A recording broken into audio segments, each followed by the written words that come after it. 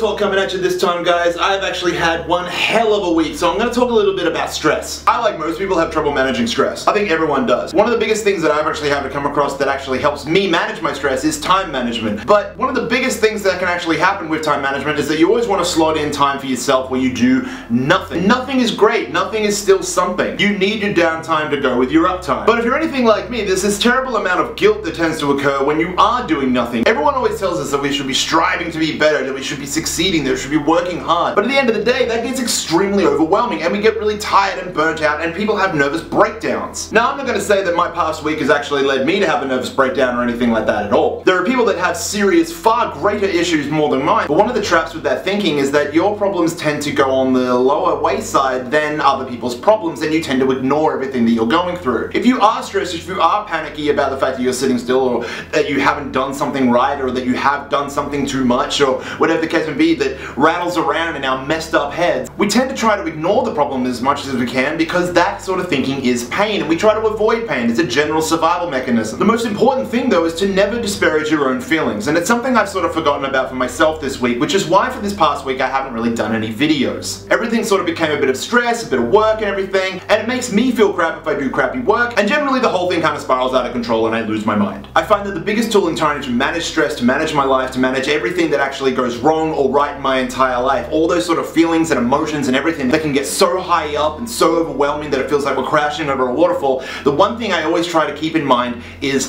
perspective. Years ago I learned of a scientist known as Carl Sagan, and anyone who's ever been interested in remotely in science or, or, space or anything has probably heard of Carl Sagan. But he wrote this great part in a book once that was later turned into a bit of a speech with an audio book and became known as the Pale Blue Dot speech. And you can find this on YouTube anywhere, but here's a little clip of it right now.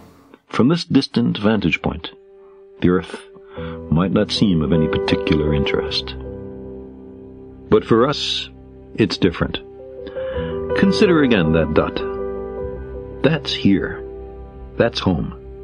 That's us.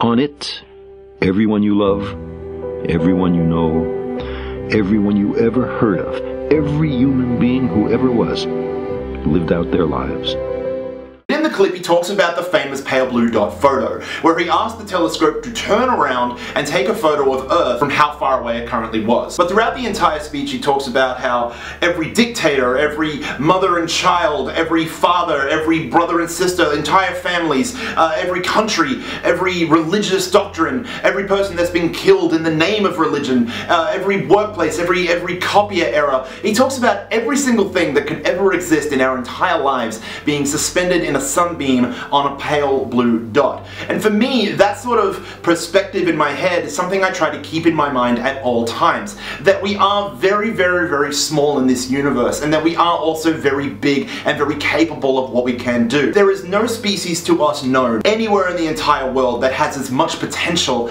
as us. And as much as that fear of success can be overwhelming for us at times, that fear of failure is even greater. We don't want to fail. We don't want to be in pain. And our general human survival mechanism prevents us from doing these sort of things where it might hurt. It's why it's so brave when someone jumps out of a plane, goes bungee jumping, uh, falls in love and out of love, uh, all these sort of things that can actually cause us pain. We consider these people extremely brave because we're scared of pain. It's against our natural nature to be in pain. But the sad reality is, is that life is pain. And it's about learning to be in love with that pain and to manage it and to understand it and make it part of yourself. Because pain doesn't ever really go away, we just get stronger. And the only way to get stronger is to keep being in pain. I can't remember exactly where I read this, but I think it was a documentarian or something that uh, talked about how these Shaolin or these Buddhist monks or these monks in general uh, would hit bricks or hit concrete over and over and over again, over and over and over.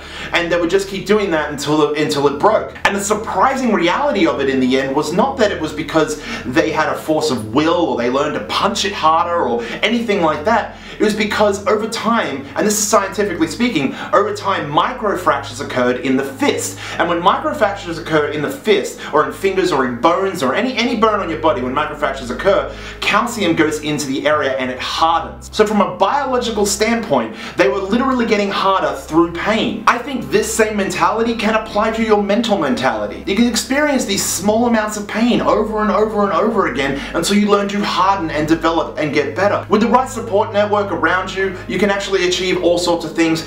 Sure, having people to help you burden the load in your life is, is so important because we as human beings are a species that belongs in community. We need people around us. I would argue that the reason I think a lot of people feel bad all the time is because they don't have people around them all the time. Or worse, we develop such callous natures and such an inability to try and experience pain that we shy away from the world and we think everyone's shit. I went through that myself and I learned that I was extremely unhappy all the time. It wasn't until I really tried to engage people and stopped wondering why people didn't get me and instead wondered why I didn't get people that my life really started to turn around. So with this stress and with this pain and with this loneliness and everything that can occur in us, the hardest truth I had to realize with myself is that it's really on us. The ball is in our court to choose to experience pain, to choose to go against our general survival nature and accept the fact that yes, we may get hurt, yes, we may get stressed and overwhelmed and everything may happen, but tomorrow is coming. Because the perspective in life is that this is all we've got for all we know. We are sitting here floating on a pale blue dot and we are the biggest part of our worlds we could ever be.